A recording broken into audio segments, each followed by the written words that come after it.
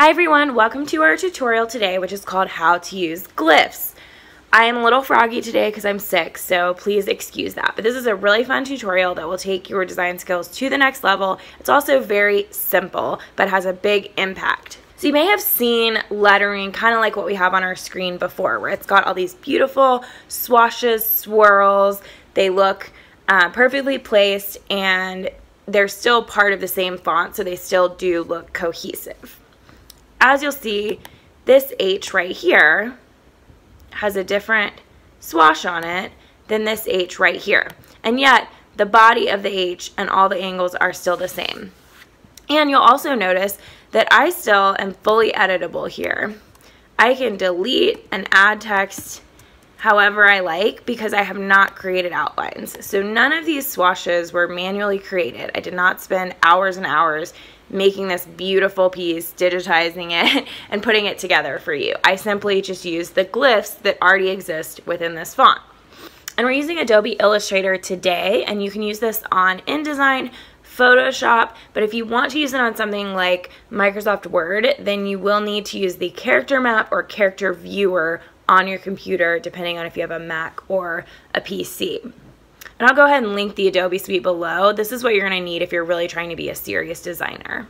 So over here, I've shown you how this phrase looks if you just type it in in the font. This one is called Melanie, and I'm gonna link all three of the fonts that we're gonna use today below so that you can get them yourself if you're interested. So when you're purchasing a font, if you want to use glyphs, uh, make sure you check out the full character map of that font. Some fonts have glyphs and some don't, so I take that into account when I am purchasing a font because I know the type of glyphs that I typically want to use with my clients and I look for those purposely. So I've just typed in how to use glyphs the regular way in Melanie script as you see up here. This is the exact same font size and everything that I used for that other image. I'll show you both of these on the same screen so you can see how different they are.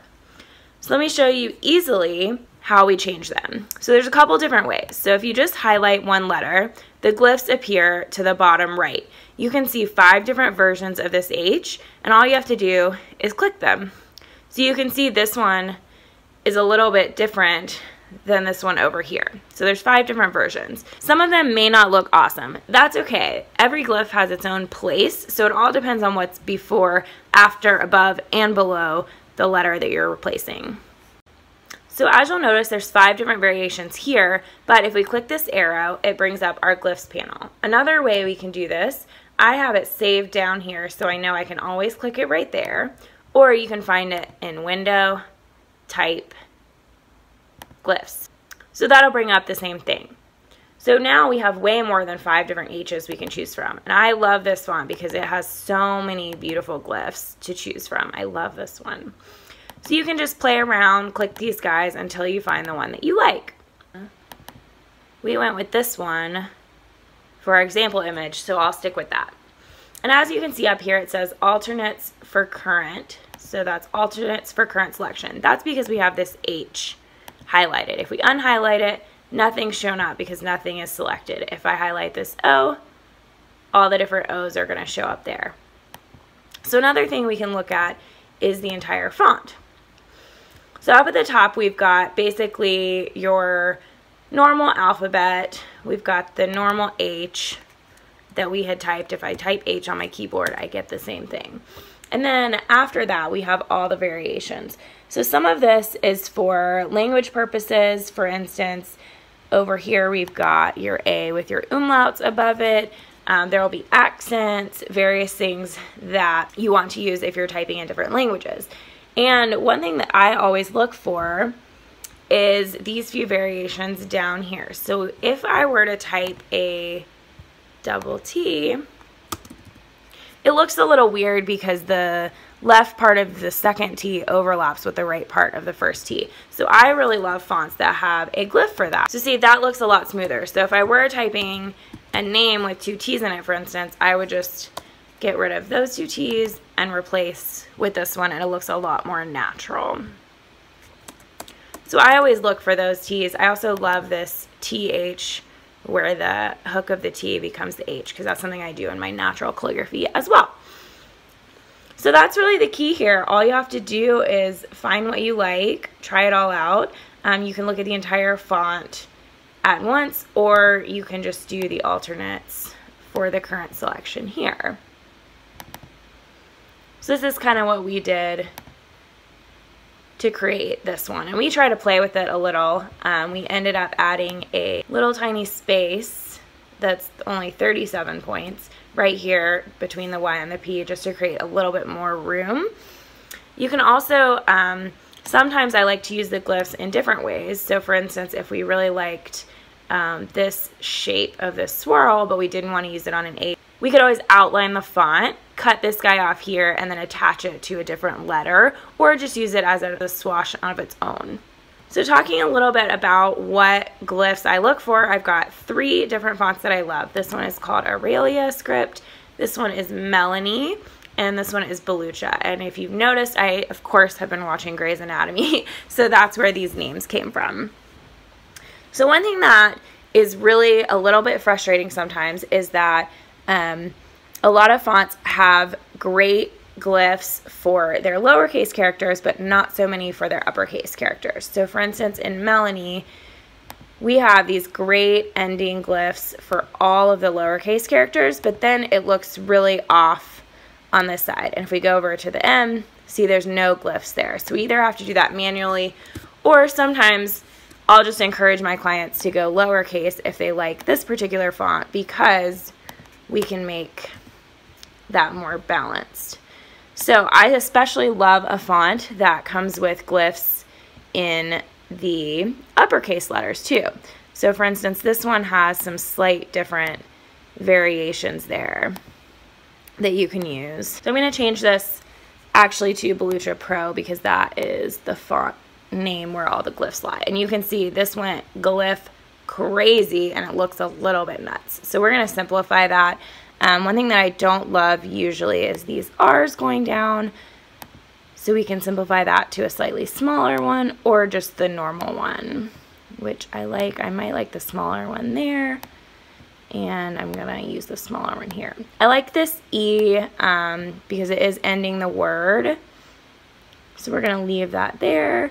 And then for these purposes, this P is a little bit crazy, but I just want to show you some of the alternate P's. So that one's extra crazy. This one's the simplest version. And then we've got a couple in between. So this is a really cool font. It's uh, a little bit formal for my taste, but I do end up using it sometimes.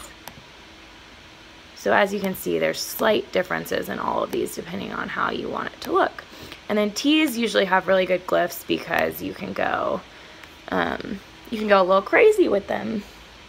So I like something like this. Of course, if that P wasn't there, um, since it is, we'll go a little bit heavier on the left so we can keep that balance. And then anything with a descender like a G, Y, um, J, etc. is going to have some cool glyphs usually. So we'll just test out a few of these to see if we can find something that we like. I kind of like that one because it's a little bit wider. So just as a reminder, if I were to just change this there, that's how it looks normal. This is the full glyph version and then where we've ended up is somewhere in between, which I like. One question you might ask is if you can kind of find and replace all with glyphs. So you can do that if you want every single Y to be replaced with this particular Y. However, if you want every last letter of every last name to be uh, replaced with a contextual swash like this, that isn't really doable. You have to do them one by one. So for instance, if you're using our data merge tutorial um, to create envelopes with one of these fonts and you want every name to have this uh, last swash at the end, that is really tricky and you'll have to do it manually. So just keep that in mind when you're creating a design with glyphs that you're not going to be able to use this on every name if you have variable data. You'll have to do that manually, um, but this is a great thing to do for invitations, like the main names on the invitations, anything that's going to be reproduced, um, this is a really great tool to use. So this only took me a couple minutes to make and you can see what a huge difference that makes. Um, I went a little bit overboard on this one as an example, of course, but just imagine the effect that will have on your overall invitation if you use that, if you use glyphs on the names, a couple well-placed swashes, and I love to take letters that are the same and use glyphs to make them look a little bit different because that gives it that more handwritten feel. I'll link all three of these fonts that we used. As a reminder, it's Aurellia, Melanie, and then Belluccia over here. These are all examples of fonts that have great glyph options, but remember to check the full character map before you purchase a font because not every font does have great glyph options. So things that I look for are these starting and ending swashes and I give them a little bonus. I'm really excited about a font if they include glyphs for capital letters as well to make them balance out with those ending swashes. So tell us what you thought of this tutorial and how you plan to use glyphs. Um, and as always, subscribe to the Doorbell channel for more tips and tricks for creative business owners. Thanks everyone. Have such a great day.